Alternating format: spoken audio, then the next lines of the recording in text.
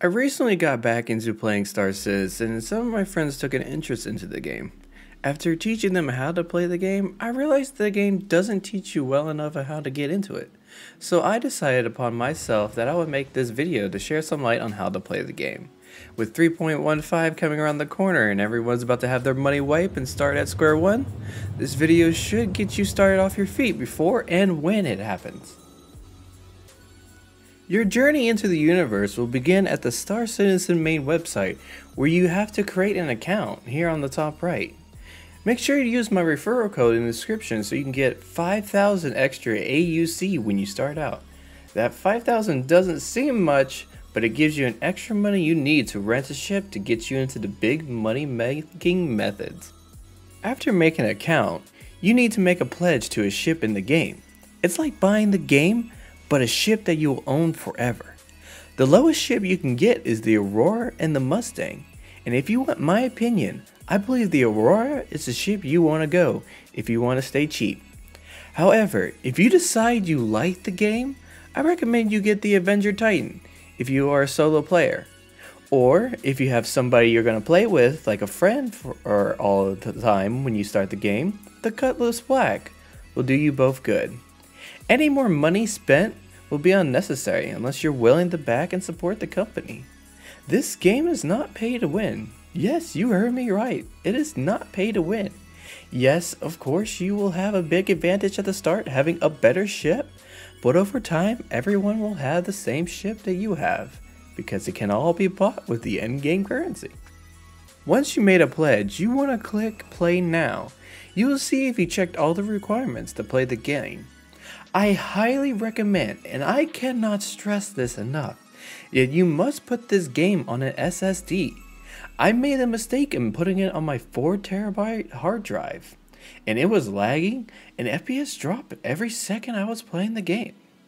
Once I switched it to the SSD, it was running so smooth it's like I was playing Warzone match in Call of Duty. After you have the game start up and ready to go, uh, you want to select the Stanton station and make sure you put the best region in your area. Mine is the US. I made the mistake of pressing EU. But then after that, you'll also be visited by a character customization. Usually your face is covered by a helmet so people don't really see your face, but if you remove the helmet, that's when the time you'll actually see your face, so I didn't really play much with it. After you get done with the character customization, you'll be selected to choose between four cities, the Lorville, the Area 18, the Orison, and New Babbage. There is no big advantage you'll have when you select one of the four starting areas. The only difference is that Orison is a gas planet and you're living on a floating pillar. As such, that means you'll have to climb to a 67 kilometer altitude before you can quantum drive to other planets. As for others, it's only 9 kilometers, so I highly recommend you pick the one that isn't Orison. For the sake of the video, I recommend picking Lorville. And yes, I know I believe I am pronouncing it wrong, but hey, we all make mistakes. At the start, you'll wake up in bed. You can look around with the mouse. With the communication on your top left, press F12 to hide it, so you'll not get distracted as you learn the game. Pressing and holding the F key enters your inner mind. It is what you'll be using to interact with the world around you. If you need to leave or exit a position, all you need to do is press Y. For the sake of getting out of bed, we're just going to press the letter key Y and it will get us out of our bed. The controls are pretty simple. Use the W key to move forward, the S key to move back, the A key to move left, and the D key to move right. Once you get a feel for your character's motion, it's time to head for the door. Usually the door will open by itself, but you have to enter inner mind by pressing and holding the F key. Move your mouse to the corrected door opening panel and it'll open once you click. Once you get past the door, you can adventure to the world beyond. These are lovely PCs that occupy the area to make it seem lively. Once you get your bearing around the world, come to this elevator on the top floor. Once you get your bearings, come to the elevator and activate your inner mind again to call the elevator. A nice key feature there is in this game is the third person. To do that, simply press the F4 key to activate third person. Press it two more times and you'll go back to first person. Once the elevator is here, you can see on the top what current floor you're on. If you scroll down, you'll find the ground floor. That's where we want to go. Once you hit the ground floor, you can explore all you like, but for the sake of the purpose, I'm going to try to speed this up as much as I can. You want to take a left and proceed forward. Right here is the fees and fine payment station. As of right now, I have no fees or fines because I am a good guy. Well, somewhat a good guy. I do some bounty hunting on the side. I know this world is very, very pretty, but it's to be very jittery and laggy for you at the very start because it's your first time ever rendering in this world. But after your computer gets it down and rendered, it'll be a piece of cake and it'll look just like this. After you come out, just take a left and you'll be on your way to the spaceport. There is some arrows that lead you and guide you where you need to go and what side of the track you can be on for the correct way if you really want to be in that immersive roleplay. Of course, there are some security guards waiting around to make sure you're not doing anything bad and protecting the citizens. All you have to do is keep turning left, and you'll eventually get to the space station. Of course, if you ever have trouble finding a way around in Lorville, there is a lovely site map right here, and it's all throughout the city. The signs are pretty self-explanatory. They'll help you and guide you along your way to wherever you need to go. We are trying to go to the spaceport, and it's this way. All you have to do is keep turning left and eventually you get to the train. As you can see, it'll tell you there's a train for the Premium Line, and then there's a train to the spaceport.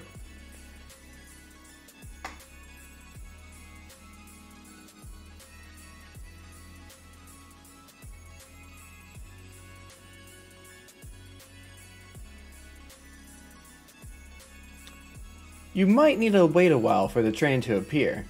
Maybe, if you're lucky, the train will be here. Oh, look at that. The train is here. As you can see on the top, it'll let you know what time the train will depart.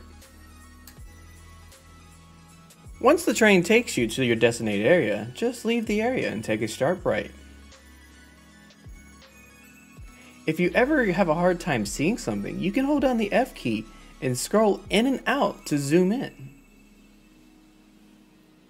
For this immersive play, I'm just going to go with the arrows. Usually I don't.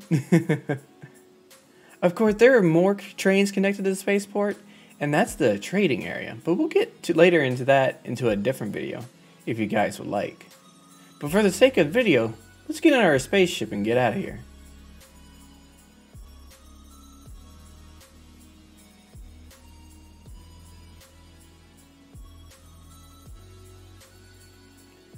You have to go through a security scan in order to get to the spaceport.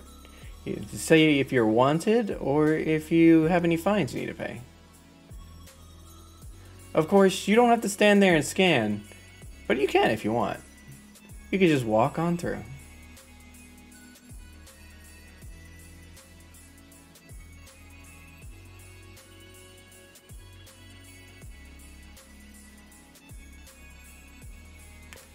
And this is the spaceport. This is where you'd be spending most of your time during the game as you call and summon your vehicles. The consoles will be on your left. Interacting with these consoles, you can summon your vehicle and they'll tell you which hangar you need to go to. Just make sure you remember which hangar or which pad your vehicle's in. Back here is where you can buy the in-game ships. Like I said, this game is not pay to win, and everyone can own the ship. As much as I would love to show you every ship that we have in the game, I believe it's best that you have to experience firsthand as you play the game yourself. But for now, let's get out of here, so I can teach you the controls and how to fly. I suggested the Aurora back then, and so we're just going to start with the Aurora. I do have other three ships, but for the sake of the video, I'll start off with a ship that you're mostly going to buy in the start of the game, which would be the Aurora. Click the retrieve button next to your Aurora. After you give it some time, it'll tell you which hangar it'll be in. Just try not to forget it, because that's what you need to go to if you want to get your ship. We are in Hangar 9.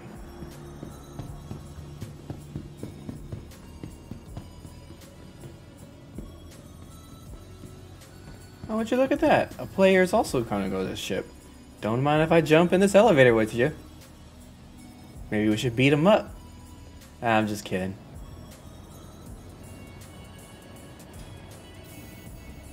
I wonder what kind of ship he has. Ah, the Mercury Star Runner. Well, judging by the way he's moving around, I believe he paid for this or he either rented this ship. He looks like he's starting to enjoy his visit of his new ship. As for us, we'll go to our own ship. Goodbye, and I hope you enjoy Star Citizen. If you ever forget which hangar your ship is in, just look through the walls and you can see where your ship is located and what hangar it's at. As remember, it was hangar 9.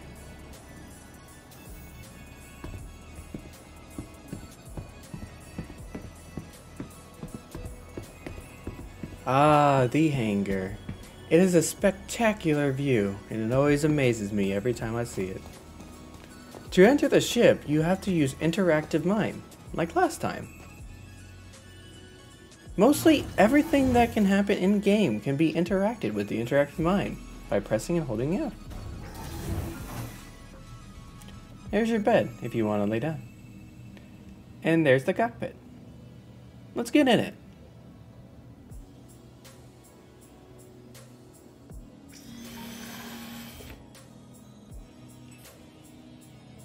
You can use the interactive mine to start your power ships and make it flight ready. Or you can simply press the R key to start it up. We'll just press R for this jake. Alright, the spaceship is ready to go and we're ready to fly. But the hangar is still closed, so we're going to have to call the comms area. Pressing F11 will open up the comms. Go under the Friends tab and activate Landing Services panel. You'll call the guy to open up the hangar. Pressing and holding the Z button will allow you to free look around without moving the ship. Now that the hangar is open, it is pretty easy to get out of here. All you have to do is press the spacebar button, and it will lift you straight on up. Let's learn more about the interface inside. You have four main important interfaces, the gear, the ESP, the CPLD, and the vertical takeoff and landing. Let's put in the gear.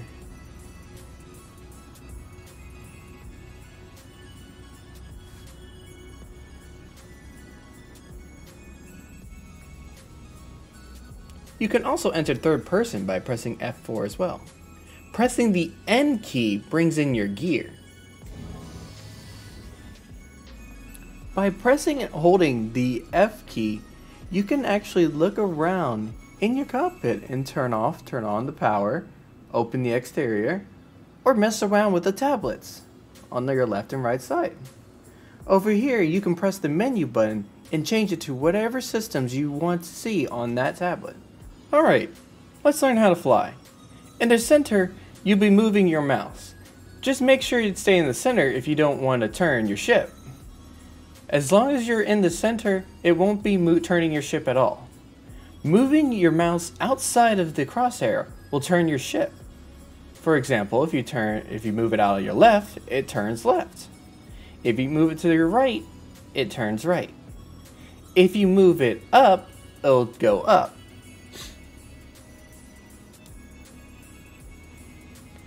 The more you push the mouse up, left, right, or down, the more it'll turn. Recentering your mouse into the center of the crosshair will stop it from turning.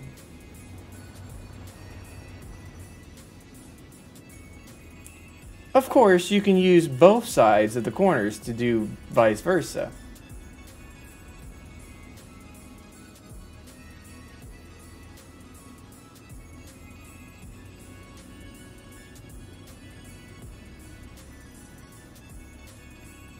If you take a look on the left side of your panel, you'll see that there is a vel. It's basically telling you your speed on which your ship is going. The square is what's mostly important. Right here will show you the speed at which you're going, and this square represents your speed limiter. Your ship will not go past the square speed limiter. To strafe left, press the A key. To strafe right, press the D key.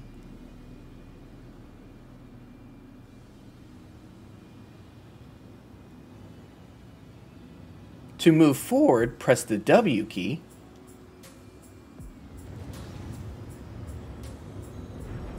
And to move back, press the S key. Not pressing any of the strafe keys will make your ship go back to zero and not move. To tilt your ship to the left, press the Q button. To tilt your ship to the right, press the E button. Now you know how to fly your ship. Alright, let's get out of here. On the right side you'll see your altitude level. We need to hit 9 in order to exit the atmosphere of Hurston. Right now we're at 2.294. If we were on Orison, we would have had to meet the requirement of 64. But right now, since we spawned on Lorville, which we glad we did, we only need to reach 9. To simply tilt up and make sure you're aiming at space.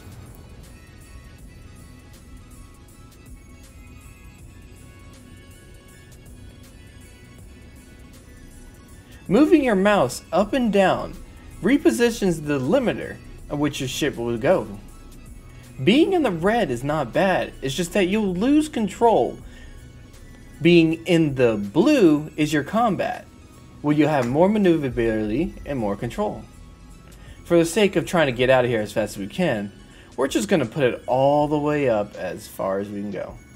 Alright, let's do it.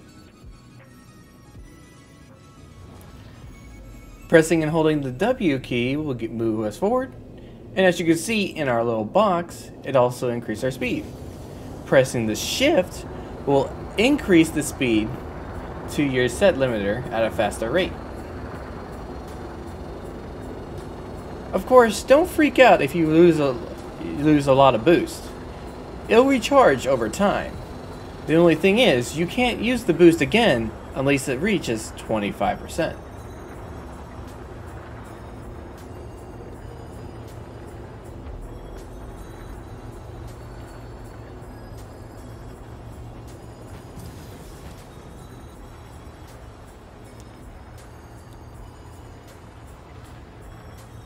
If you ever get tired of pressing and holding the W key, press the C button to activate cruise control. This will make your ship go to your speed limiter at all times. The only way to make it stop moving is by pre-pressing the C button again. This icon next to the square will let you know that you are going at a cruise. Now that we reach our altitude, we'll turn off cruise and we'll let go of movement.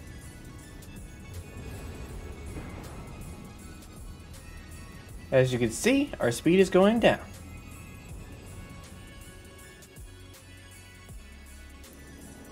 Ah, space. What a lovely view. Every time I see it, brings joys to the eyes. In space, Newton's law is applied here. Objects in motion stay in motion unless applied by an opposite force. Thanks to the CPLD, it is also counteracting that law automatically. If it was turned off, we will have to learn how to apply the opposite force to put us to a halt.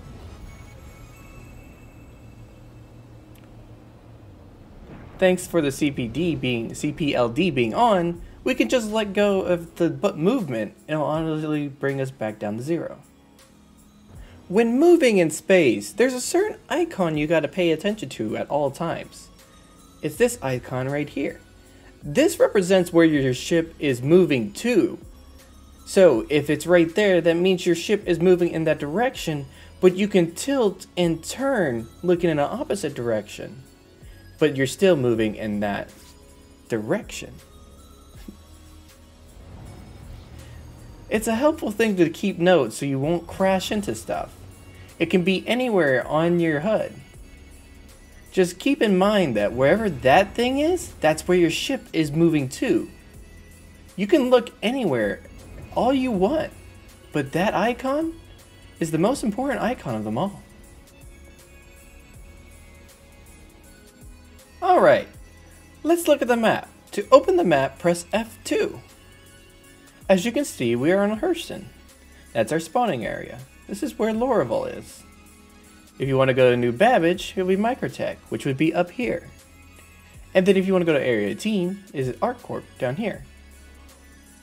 Hurston is the first star, or first planet, from the star. Orison is on the second planet from the sun. Pressing this icon up here will bring you zoomed in to your general location. Usually it's surrounded by a certain amount of planets. Each planet you see is landable. You can land and walk on foot. The only thing you can't land on and walk on foot would be Orison, because it's a gas planet.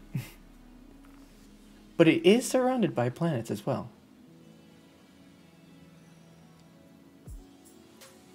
Alright, let's go to the space station. Zoom in on Hurston and you'll be able to find an orbit the, the planet to find a space station. The space station we're going to is Everus Harbor.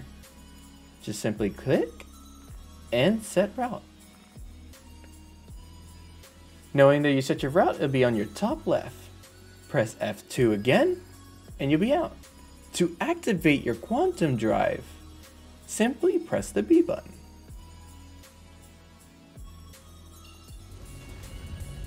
Keep in mind that your spooling needs to charge up uh, before you quantum. Think of it as charging your charging your engines before you lift off. The calibration also has to reach 100% in order to go. So let's calibrate to the space station.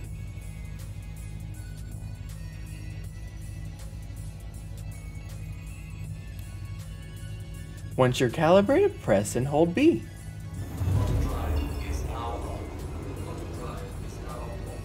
To deactivate quantum drive, press B again. Now, we're going to try to land on the space station. Just make sure you're not looking at it. Just make sure you're not moving towards it so you won't collide. Remember that icon that I said is the most important? Yeah. Make sure it's facing away from the space hub so you won't collide into it. Full throttles all the way up. And if you go super fast, you can always speed back down by pressing and holding the X button. Which would be your space brakes.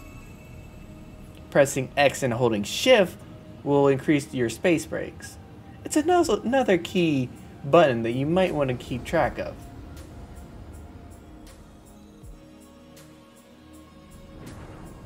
So it looks like we're not facing the right side, so we'll just press the Q button to tilt ourselves. Like all stations, you can call the comp button and request landing. If you don't do it, you'll get impounded in a fee for it.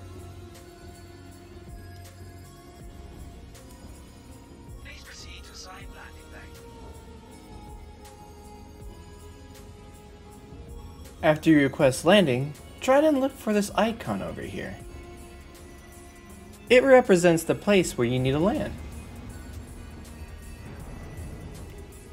If you're moving too fast, scroll down your speed limiter and it won't go faster.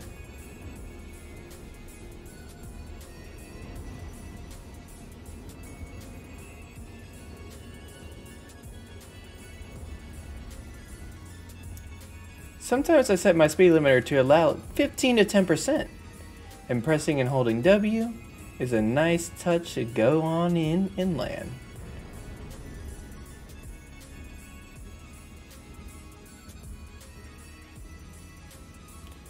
Don't forget your gears by pressing the N button.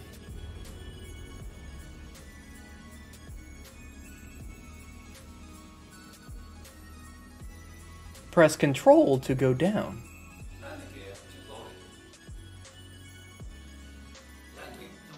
Congratulations! You now know how to fly your ship and land on a spaceport. I hope this video helped you get off your feet and start flying around the universe. If you have any questions, feel free to leave them in the comments and I will try to answer them to the best of my abilities. If you want me to make other guides on how to do things, leave a like and a comment on what the next guide you want to know about. Until then, see you in the universe.